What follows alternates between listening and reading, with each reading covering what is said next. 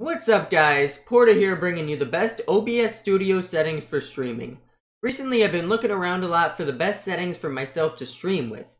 I've run into a few bumps in the road seeing as a lot of videos are either outdated in OBS Classic or have a difference in opinions. The settings I'm running now are working the way I was hoping they would and that's why we are going to go through them today and hopefully they could help you too. Let's get right into this. First let's go to File, then Settings. This will now take you to the General tab. We're going to run through this section pretty quickly because it's not the main point of the video.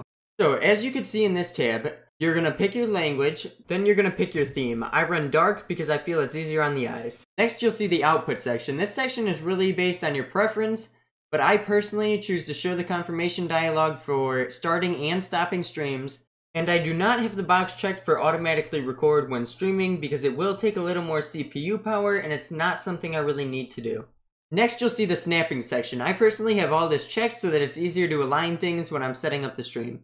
As for the last two sections, they are not something we need to touch, so we're going to skip that and move on to the next part. Let's move on to the Stream tab. Here you will choose your streaming service. I use Twitch, but you could choose whichever one you would like to stream to.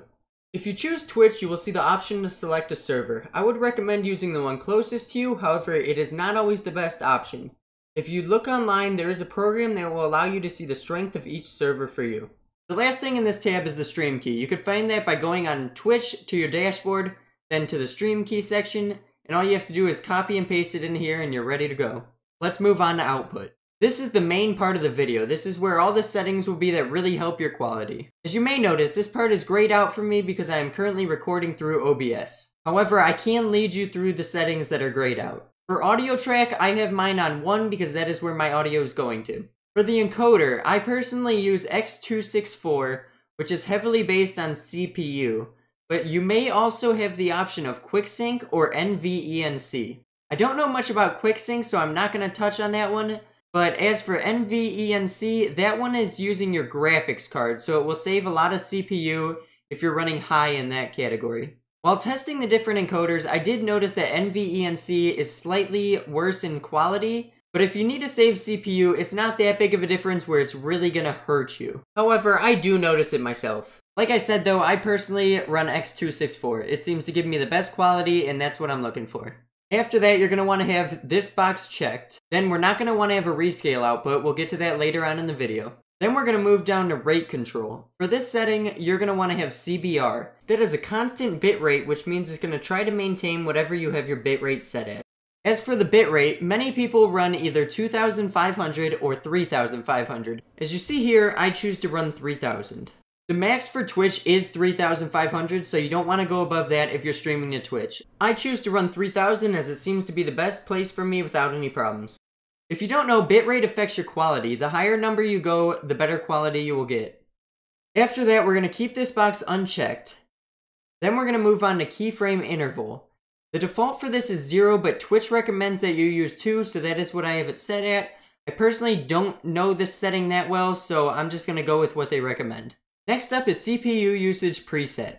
As you see here, it says the higher you go, the less CPU will be used. By that it means if you go to ultra fast, you will be using the least amount of CPU possible. If you go to placebo, you will be using an extremely high amount of CPU.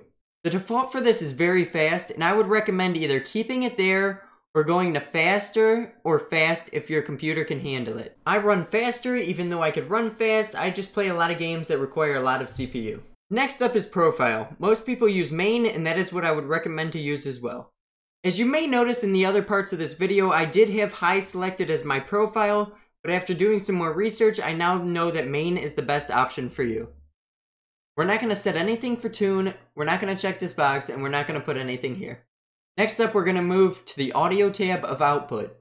In this section, the default is 160. I personally raised all of mine to 192 because I want to get the best quality possible.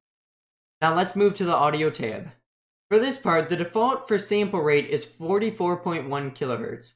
I personally changed mine to 48 kilohertz because I want to get the best quality. After that, you want to keep channels at stereo. Then for the next options, it is based on what you are using. For desktop, you want to select your desktop device. For microphone, you want to select your microphone, and so on. You do not need to change anything down here unless you would like to, it is all personal preference. Finally, we're going to go to the video tab. On this page, you're going to want to have your base resolution as whatever resolution your monitor is. For example, mine is a 1920 by 1080p monitor, so I am running 1920 by 1080. For the output resolution, you are going to want to change this to whatever you want your output to be. I like to stream in 720p, so mine is set at 1280 by 720. After that, you're going to see downscale filter. Unfortunately, I cannot open the category because I am recording, like I said, but I could tell you what they are. The first option you do not want to go with. After that, you have 16 samples and 32 samples. I personally run 32 samples, but the default is 16 samples.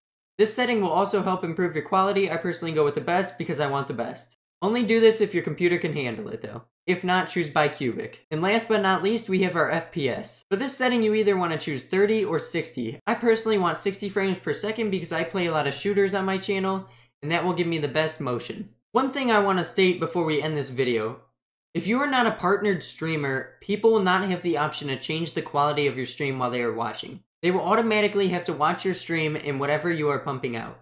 By that I mean, if you're putting on a really high quality stream, some people may not be able to view it because their internet speeds do not allow it. So you want to have good quality, but don't make it too insane where people can't watch or you're just hurting yourself.